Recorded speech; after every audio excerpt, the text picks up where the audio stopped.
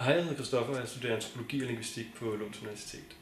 Når jeg ikke er til forelæsning, så bruger jeg min tid på at drikke kaffe og hvad hedder det, øh, læse på hvad hedder det, øh, Lunds øh, læsesal. Det er sådan, at der er hvad hedder det, langt bedre studiefaciliteter på Lunds Universitet, end hvad jeg har været vant til for Københavns Universitet, hvor jeg også er gået. Og det udnytter jeg.